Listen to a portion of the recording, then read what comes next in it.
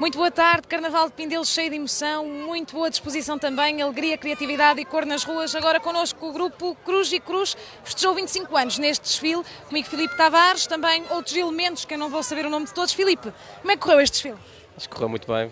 Uh, eu, pelo menos, estou cansado, os nossos colegas também. Uh, penso que, que, foi ótimo, as pessoas acho que, que gostaram muito. Uh, vamos ver agora também o feedback das pessoas, mas penso que. Reparei no desfile que as crianças interagiram muito convosco, até pelos vossos fatos, não é? É evidente, sim. De facto, houve muita interação do, dos pequeninos, principalmente esses acho que gostaram bastante.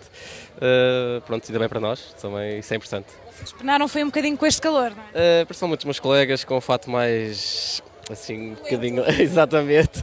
No meu caso só um bocadinho, mas uh, de resto foi, foi bom. Este bom tempo, era já um bom tempo que o Carnaval de Pindelo merecia? Uh, há muito tempo, sim. De facto, é uma coisa que nós uh, precisamos mesmo, é que aconteça assim sempre todos os anos.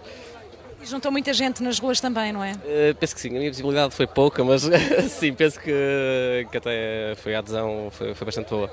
E é, é, é, é, importante, tendo em conta que fizeram os 25 anos e terem um desfile com este, com este tempo e com esta moldura humana. Principalmente, sim. Isso. O tempo era, é um fator muito importante para nós, porque o trabalho todo, uh, depois no final, dá para, para mostrar muito, muito melhor do que se tivesse a chover, as pessoas também se calhar não aderiam.